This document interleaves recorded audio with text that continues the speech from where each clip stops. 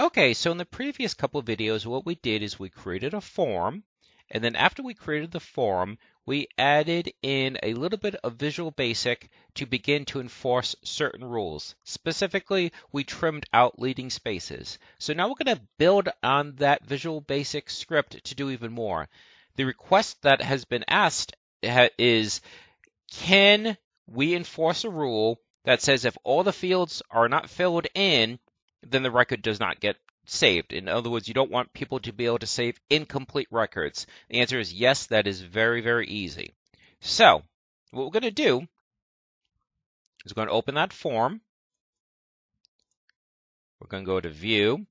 We go to Design View. We click on the button because that's where the Visual Basic is attached. Here's the event procedure. Click on Ellipsis. And here's the code that we're looking at. What we're going to do is we're going to create a condition. So right now, when you click on the button, this routine runs. Part of the routine is going to be a check. It's going to be what's known as a block if. It's called a block if because it's more than one line. It's a block of code. So let's look to see how that would look. So if me dot, oops, sorry, me dot text one because text one is the field, the top field that you're typing into. If text one is less than or greater than two double quotes, then, and after the do command and if. So like I said, it's a block if. You have a block of statements. So what this is saying is this field, as long as it's not null, then this will execute. And what's great is that if you put spaces, it won't accept that. So let's take a look. We'll save this, close this, we'll save this, click here, and what we're going to do is we're just going to click add record. Nothing, no good. It will not save that record. So if we close this, and we go to books game, you can see there's no uh, uh, partially created records here. So what will it let us do? Well, if we go back to that form and say we type in test, it does let us do that. So you can still create a partial record, you just can't create this empty record. So if we go back to books and games, see it says test, but we know nothing else about it. What's the cost? What's the sell? Is it a book? Is it a game? So let's get rid of that. Actually, let's leave that record so you can see the difference. And sorry for jumping around. It's just Access is a little bit weird that sometimes you can't make a change if you have a linked table or another linked object open.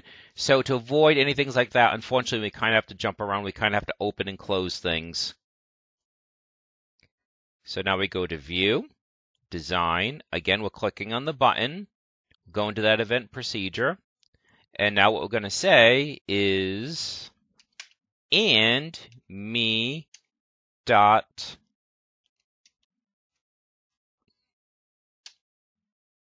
text 7, which is the other field you currently fill in. And again, less than, greater than, two quotes. And the rest can say the same because you've just increased this condition.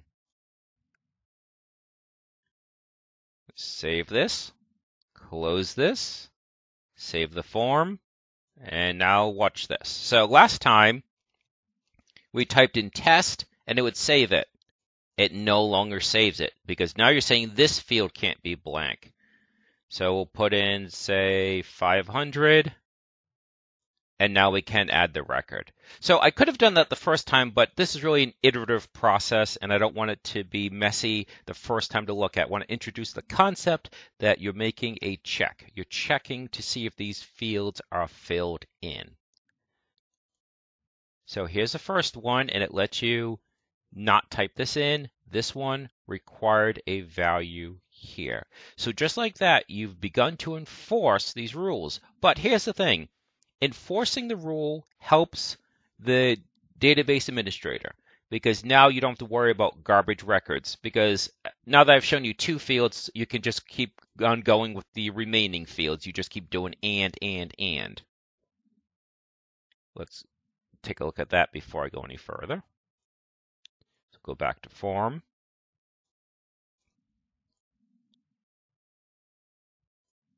So it's just more and more ands saying in this field and that field. But as I was saying, this helps the DBA, this helps the database administrator because you don't have to worry about these garbage records being entered, or at least these partial records being entered. People still might be entering bad data. But the problem is you need to communicate that to the end user. And this is actually a discussion we've been having at work recently about the administrative tools versus the end user experience. And that when you're designing your database, you have to take both into consideration. You have to give feedback to the end user so that they know what they're doing wrong. So in this case, what we're doing is we're just not letting them save the record. And so a very persistent person may just keep hitting that button saying, why isn't it saving? It's broken. Well, see, that's the thing. If you're not communicating to the end user, they have no way of knowing that they've done something wrong. And so what you want to do is you want to start to give information to them. And there's a range of ways of doing that. For instance, right now, this just says, if, then do this. There's absolutely nothing, nothing else that says else, because with an if statement, you can add an else that says, if this is true, do this. Else, do something else. So that's what we haven't done. We haven't put in that else that says, okay, these conditions aren't met, so we want something to happen instead of saving the record because right now nothing happens. By using the else, you can say something happens. What we're going to do is we're going to open up a message box, a little window that simply says required fields are missing. And then we'll build on that as far as um, giving more information information in that message. But again, this is an iterative process. So before the end if, we type in else. And now we put a command in here. This is going to be message box. So msgbox. And we just want this to read required fields are missing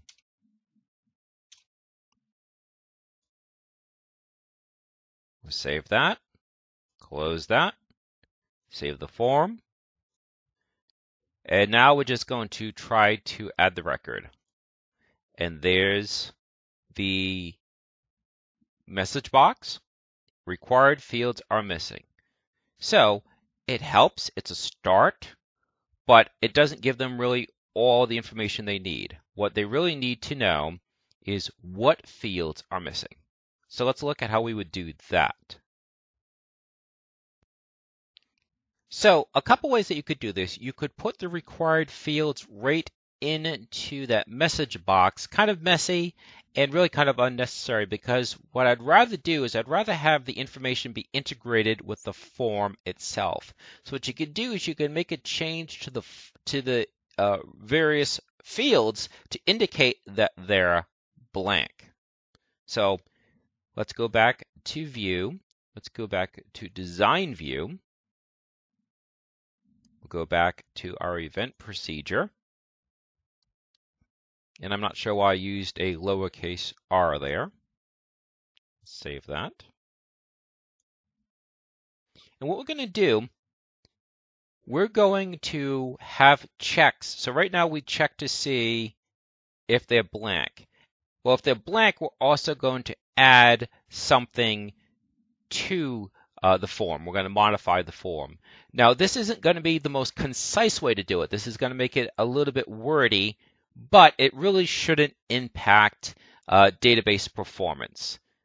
This is very simple code, so shouldn't be an issue. But yeah, you're going to see some redundancy that could be done a little bit neater. But again, sometimes I try to do things that it makes it obvious or easy to understand the individual function, functions. Sometimes you can do things in a more concise, less redundant way, but it's also more difficult on the eyes.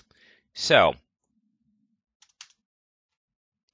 basically we're going to do what we did here and that is we're checking the values, but we're going to modify that field based on that.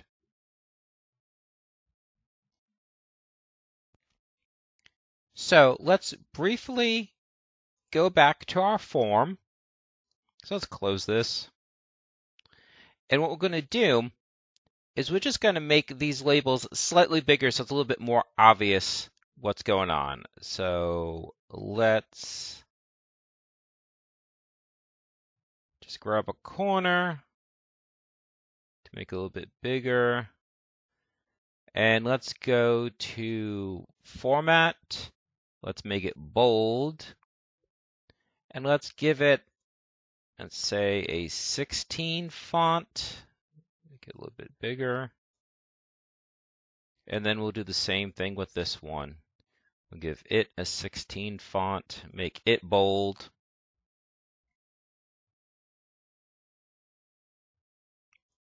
That way it's a little bit more obvious what's going to happen.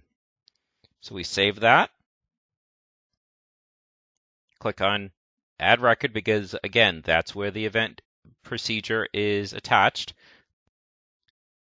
And now what we do is we again check the value in the various fields and then we're going to modify the corresponding label. Again, if you want, you could modify the, modify the field itself. Maybe you could change the back style. There's lots of ways you can do this. No one right way, whatever makes sense to the person doing the data entry. And again, this part is for the benefit of the end user, not your benefit. Your benefit is preventing the garbage record, the incomplete record. Their benefit is to explain to them what needs to be done. So we're going to create another block if. So if, and this is really the more proper way of checking for a null field, but it's also a little bit more wonky to look at. So that's why I did the less than greater than. This is how you actually check for null.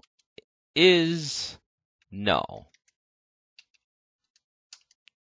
And then what is null? Me dot, and we said it's text one.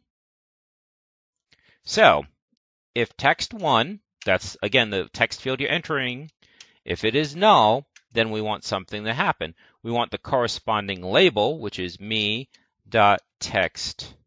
Oops, sorry, me dot label two dot fore color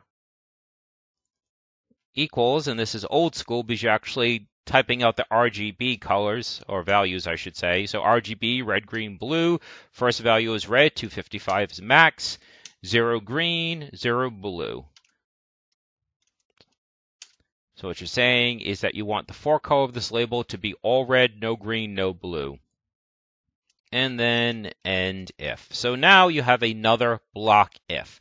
So more proper way of checking for a null values to actually say, is it null? But again, it's a little bit more wonky to look at. So again, the process is iterative as far as what I'm showing you, as well as how advanced the coding becomes. So you're saying if this text is this text field is null, then change the corresponding uh, the color of the corresponding label.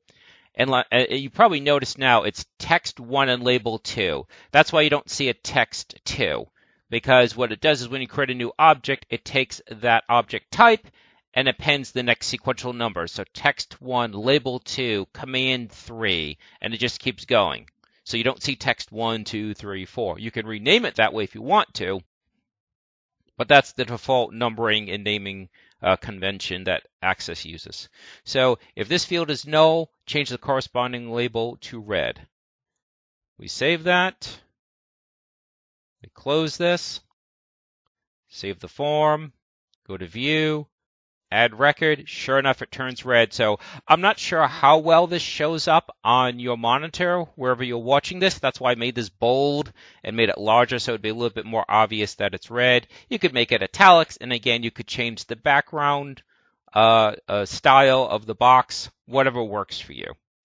And you get the warning pop-up box. And the record is not saved. So what you then do is then they can say type in the value.